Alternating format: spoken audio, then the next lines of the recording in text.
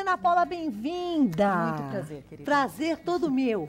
Olha, hoje com a Ana Paula, porque você pinta em madeira, pinta em tecido também? Um pouquinho. Um Bem pouquinho? Tem muita diferença, meninas, quem pinta em tecido para madeira? Não tem a diferença do gestual, né? A, a Ah. pessoa poder fazer o seu próprio desenho. Mas eu as mãos. digo assim- Eu trabalho só com stencil. Em termos de dificuldades, quem pinta em madeira e passa para o tecido, dá uma Não. diferença? Não, a não. diferença não é porque assim cada um tem, né? é, Isso. uma- é, vamos supor, se você pega uma madeira no, no country, já é diferente de uma madeira mais, né? Exatamente. São técnicas É, diferenciadas. técnicas diferenciadas. Entendi. Bom, então é essa placa home, a partir de agora é tudo com você. Você usou também aqui o stencil, né? Isso. É, Eu trouxe a, a possibilidade de uma reciclagem, você pegar um vidrinho de geleia que você tem em casa e reaproveitar ele como uma floreirinha. E para dar um charme, eu coloquei a madeira, que é o, o- nosso forte. aqui. Ficou uma belezinha. A gente está trazendo aqui para vocês hoje uma tinta da True Colors, que é a Restauro. Ela é uma tinta mais forte, é uma, uma tinta acrílica, né? A pigmentação dela é um pouquinho mais forte. E ela é para restaurar móveis. Mas ela tem uma particularidade que ela pode ser aplicada sobre PET, vidro e metal sem precisar do primer. Sensacional. Ela tem uma ótima fixação, tá? Em linha, nós temos ela no acetinado em 13 tonalidades e o brilhante, duas tonalidades. Então, temos em linha 15 cores. Uhum. E a apresentação delas são em dois tamanhos, 80 ml e 250, caso você vá restaurar peças grandes, tá? Excelente. Então, aqui eu trouxe as possibilidades dessa tinta hoje. A gente chama ela de restauro, mas ela pode ser aplicada sobre a madeira, sobre o vidro, sobre o PET, né? E ela tem uma cobertura muito intensa, Cláudia. Quer dizer, móveis em casa eu posso usá-la direto. Eu posso pegar um móvel antigo, dar uma retirada no verniz que ele tem e trabalhar Com ela? Com ela, porque a cobertura é muito intensa. Então a Uhum. gente vai Qualquer tipo de madeira. qualquer tipo de madeira. Tá bom? Excelente. Então eu pego a tinta, vocês vão perceber que a cobertura dela é muito intensa. E eu vou fazer o fundo da nossa, da nossa plaquinha, tá? Eu vou aplicar aqui, ó, uma demão da tinta Rustic Brown, que é o nosso marrom. Eu vou aplicar nela toda. A secagem também é rápida. Eu trouxe ela aqui já adiantada, olha. Que a gente Uma demão tem- só, Ana? Uma demão só, que aqui Que a gente cobre vai bem, fazer, né? cobre bem. A gente vai fazer um provençal, tá? Tá. Então, olha aqui, ó, eu tenho ela aqui toda aplicada. Sobre esse, esse marrom, eu vou aplicar o diluente sólido, tá? Que é uma cerinha incolor. Com a ajuda de uma... sólido. Isso, é uma cerinha incolor. Com a ajuda de um paninho, a gente vem e aplica em alguns locais, onde eu vou querer o desgaste do meu provençal. Eu vou aplicando a minha cera. Normalmente, a gente aplica mais nas bordas e um pouquinho no centro Uhum. tá? Depois dessa etapa, Cláudia, eu vou aplicar a nossa PVA branca. Eu trabalho aqui ainda na linha da reciclagem, eu trabalho com caixinha de suco. Para Caixinha de otimizar suco? isso, caixinha de suco, caixinha de leite, aquela parte metalizada. E aqui, olha, sobre a própria cera, eu vou aplicar o meu branco. A Eu não- caixinha de suco é o teu godê, é isso? Isso, ele vai ser o meu godê, porque eu trabalho muito com rolinho, então o godê para mim não fica muito viável, né? Quando Sim. eu trabalho com rolinho. Quer dizer, então, que agora é uma tinta PVA branca. Isso, é uma PVA. Tá. Eu não aplico uma restauro sobre outra restauro, porque como eu, eu falei para vocês anteriormente, ela tem uma resina muito forte. Eu não vou conseguir fazer aquele desgaste que eu preciso Uhum. agora, tá? Então, olha, aqui a gente vai fazer essa aplicação nela toda, aguardar a secagem natural. Tem que ter um tempinho de quanto tempo? Quantos Ela minutos? precisa de uns 15 a 20 minutos para secar sozinha. Você passou a camada de tinta PVA Isso, eu passei nela branca. toda, tá? Ela vai secar. Então aqui, olha, ele já tá todo sequinho. E a gente vai fazer aquele desgaste do Depois provençal. que seca, ela já fica meio transparente Isso, por causa essa é a daquela... ideia. Se você quer bem branquinho, você pode passar duas camadas de PVA. Aqui eu optei por uma só, porque eu Uhum. gostei, eu gosto desse fundo mais desgastado, mais manchado, já dá um fundo legal pra mim, tá? Aqui eu tô trabalhando uma lixinha, gramatura 220, tá bom? E nós vamos fazer o desgaste. Nós vamos começar pelas beiradas, olha. Como tem a cerinha, ela sai super fácil, não precisa nem pôr muita força. E vamos fazendo aqui, ó um pouquinho mais de desgaste para dar o nosso provençal. Aqui, quem determina a quantidade do desgaste é você que está fazendo. Eu gosto assim, mais espalhadinho. Vou Aham. ao contrário. Tá? Aqui já é a peça propriamente que a gente vai trabalhar, né? E, ó, a gente faz todo o desgaste nela. ele já dá aquele ar de provençal, tá? Uhum. Nessa etapa aqui, Clau, eu vou fazer a nossa decopagem e o estêncil, tá? Eu já vou fazer na placa principal. Vocês vão perceber que aqui na minha placa principal, eu já trouxe ela com o vidrinho e uma abraçadeira. Eu já vou mostrar para vocês como faz o vidrinho. Eu vou acabar a placa toda e depois eu mostro. O que, que foi feito aqui? Eu comprei uma abraçadeira numa casa de material de construção, tá? Ela é um Eu compro com esse nome, braçadeira? isso, a abraçadeira. Aí você vai vendo o diâmetro, leva sempre o que você vai colocar pro, pra pessoa que vai te vender ver o diâmetro, tá bom? Tá. Eu fiz um corte na minha placa, eu vou virar a parte de trás, tá feinha, mas dá pra ver, ó. Foi feito um corte com uma furadeira, tá? E ela fixa aqui. O parafuso aqui que dá a regulagem para poder prensar o vidro, tá bom? Tá. Então aqui o processo agora é o seguinte, nós vamos trabalhar com a cola gel para decopagem, tá? Ó, tradicional, que é para madeira, e um guardanapo de papel que eu já trouxe cortadinho aqui pra gente. Eu peguei uma folha inteira, aqui ó, e já tirei um desenho pra gente, tá bom? Pra facilitar.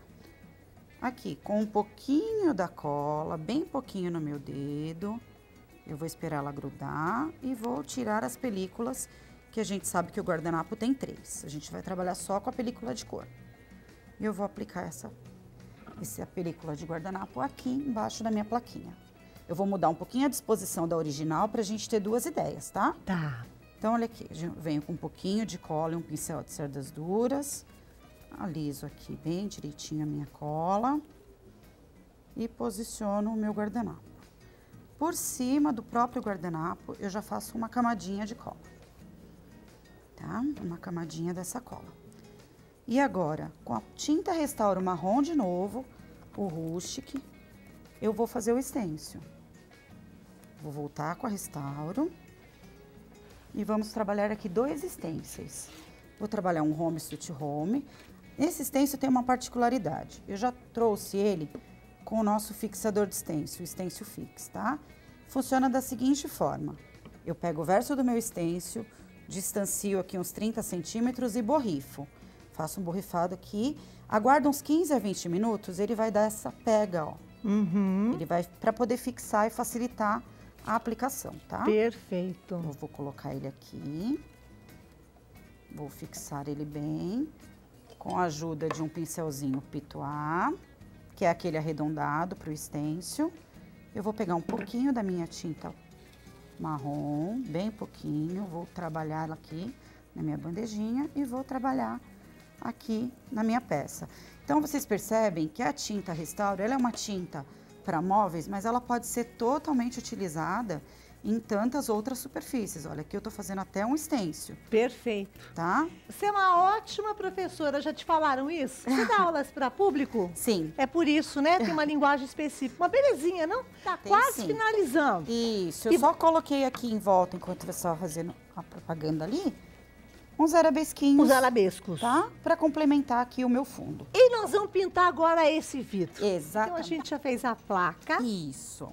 Passo, colocou o nosso stencil, fixando com um produto muito bacana que é o stencil fix. Stencil fix, que facilita muito a vida. Agora vamos pintar o vidro. Vamos pintar o vidro, que é a coisa mais fácil de todo o processo e mais gostosa. Que bacana. Então agora a gente não vai deixar mais nada de vidro em casa parado, né, Claudinha? É só passar a tinta Só passar restauro. tinta restauro uma, duas demãos, né? Porque o vidro é muito transparente, então ele precisa de uma cobertura maior, mas ela fixa perfeitamente. Vamos fazer? Vamos lá. Então a primeira coisa que a gente vai fazer é sempre dar uma limpadinha no nosso vidro, né? Passam um alquinho em casa, tá bom? Uhum. Eu vou segurar ele deitadinho aqui. Com a ajuda de um pincel macio e a própria tinta restauro, eu vou pegar a minha tinta e vou direto no meu vidro.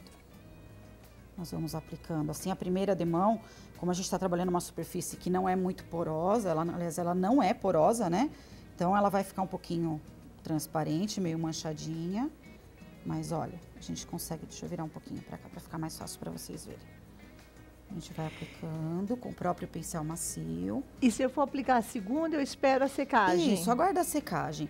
Pode acelerar? Pode. Mas todo produto que seca naturalmente tem um acabamento melhor, tá? É, eu falo isso em aula para as alunas, né? Em aula a gente acelera tudo. Mas Aham. o ideal é deixar secar sozinho. Naturalmente. No alumínio também, então eu uso no vidro. No vidro, no PET ou no alumínio. Lembrando que é PET, tá? O polietileno, ele não fixa nada. Então a gente coloca aqui para secar. Eu vou deixar ele secar por volta de 15 a 20 minutinhos e vou repetir o processo. Foi o que eu fiz em todos os vidros que a gente tem na bancada aqui, tá, Claudinha? Olha que interessante. Aqui, por exemplo, aqui não é vidro, aqui não, aqui é, é vidro. vidro. Esse é um vidro de azeitona. Aqueles vidros alongados de azeitona. Até a tampa você e pintou? a tampa eu também pintei. Com a tinta, então a, a tinta, tinta restauro, ela tem várias cores, são 15 no total. São 15 cores no total, 13 cores acetinadas e duas brilhantes, brilhantes. que é o branco e o preto, né? Você que é para dar efeito de laca. Você me contou que você misturou umas cores. Isso. Esse, esse frasquinho da frente, o vidrinho verdinho, o azulzinho clarinho, é verdinho, né? Verdinho clarinho. Eu misturei essa restauro verde com um pouco de branco e eu fiz a minha cor clara. Ficou Porque linda. uma característica das nossas tintas restauros é que elas têm cores muito fortes. Elas são bem densas, uhum. bem fortes, alegres, né?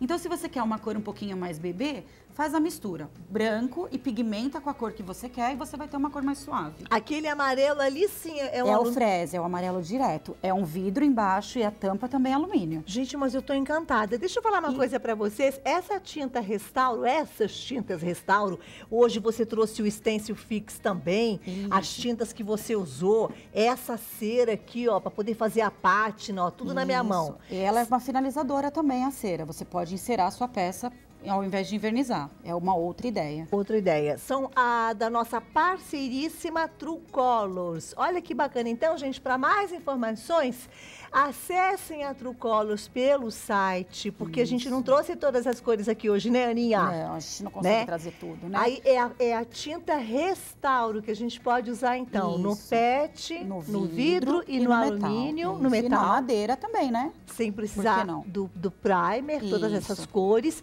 E tem também o um contato telefônico na tela para você saber onde você encontra um representante da True Colors Isso. mais próximo da sua casa, onde você morar. Olha, True Colors, eu tô de cara. Excelente. Não esqueçam que no site vocês podem baixar o catálogo para dar uma olhada nas, nas, nas cores. Dá né? até mais vontade de sair Sim, criando as peças. Você fala, puxa, eu vou usar em determinado Verdade. vidro, né? Ou então Isso no alumínio. Mesmo. Acabou?